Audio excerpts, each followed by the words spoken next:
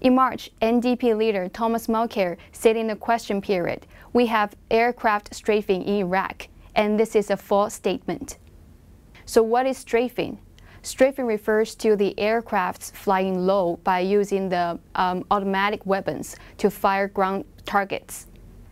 According to the website FactsCan, Major Isabel Brassey, the, uh, the spokesperson for Canadian Joint Operation Command, said that we're not conducting strafing. This is Xiao Xu.